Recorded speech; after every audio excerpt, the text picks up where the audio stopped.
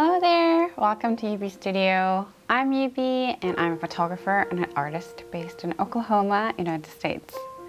It's good to see you guys face to face. and this video is going to be about my camera gears. I got a question about my gears of what I use from Emily, I think. So I decided to do a short little video about my gears um, that I use during my photo shoots. This is just an overall look with all my camera gears. Um, I mean, there's not that many as you think, I don't know, um, for my professional photo shoots. Um, I have one full body, full frame body, and I have three prime lenses and one zoom lens and one film camera. So this is my main camera, number one camera for all my professional shoots. Um, it's Canon mirrorless RP full frame. Um, I switched all my gears to mirrorless last year um, because it was lighter and the function was during it was great for me. Um, and back then, RP was one of the smallest body that Canon mirrorless full frame line had. So I got this instead of R and it's, it is very light and it's still kind of big for my hands because I have such small hands but it's very light that I even took this for a five day Chicago trip and it did amazing and it didn't you know hurt my shoulders. It wasn't too heavy for me. Um, it works fast and the resolution's great and it has a flipping screen for my videography and my self-portraits. Um, and I can't really find something bad to say it. Um, so this is um, my main body the first lens that I want to introduce is my tilt shift lens. Oh, tilt shift lens has been my dream lens for a long time and I finally got it last year. Mine is 3.8 45 millimeter Canon tilt shift lens. Um, so basically, uh, I'm not gonna go through too detailed and technical stuff about this. So it gives you a tilt um, in the perspective in three different points um, I think. And through that, it gives you a freedom of to put bokeh wherever you want. Um, it was originally made for architectural lens or landscape lens, um, but uh, portrait works fine with it, fine with this, and because of the freedom of um, bokeh you can create, it creates a lot of depth of field. And I can't imagine going back to my photography before having this lens because it fits my blurry and dreamy and very creamy, buttery photography and portraits that I create. Um, so this is my what I think this is my favorite lens that I can say. Okay, next lens that I have is a Lensbaby 56 millimeter 1.6, I think.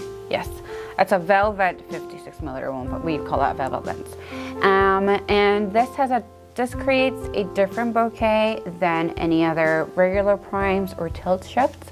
The blurriness is a little bit more smudgy feeling and that um, might be a little difficult to do with portraits, but with still life and abstract kind of images are very perfect with this.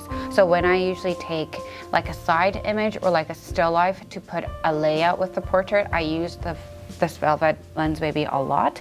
And it's light and it's manual focused and I've even done a wedding with this and it worked fine. Um, so this is my second prime lens. My third prime is an RF 50 millimeter 1.8. So this is the only RF lens that I have for my RP. So surprisingly, I use an adapter for my RP because all my other lenses are not RF lenses.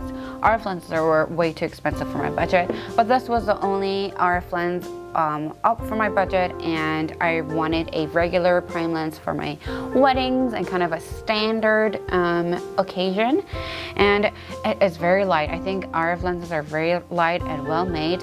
Um, I took this um, again to a Chicago trip and it, it did great. It's waterproof and let's see. Um, I think I bought it used. I um, also, oh, I think I bought it new because um, the used and the new price was like almost the same. So I just, I just decided to get new one.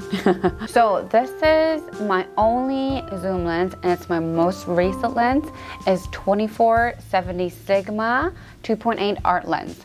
Um, I decided to get this lens because I started to shoot a lot in my living room and because my living room isn't that big, I needed a wide angle lens that is also has a high resolution and bokeh um, to have that consistency in my images. Um, the only downside is really, it's really heavy. Uh, sometimes I'm like, is my wrist okay? I'm holding this huge thing on my RP, but um, it's been doing fine. And the, the image quality is just exceptional.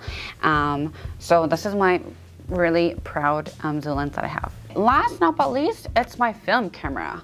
It's Nikon N65. Um, if you know my photos, I always add film camera to my photo shoots.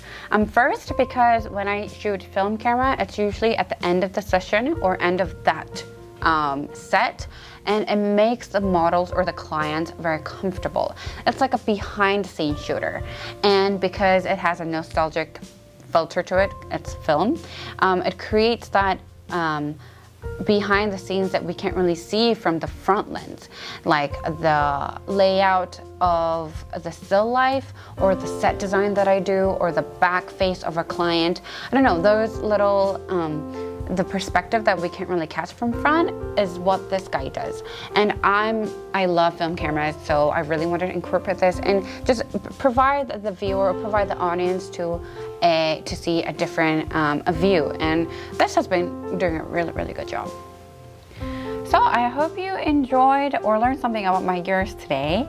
Um, I have other gears that is for my videography and my traveling, but I didn't introduce that today because I wanted to focus on my photo shoots.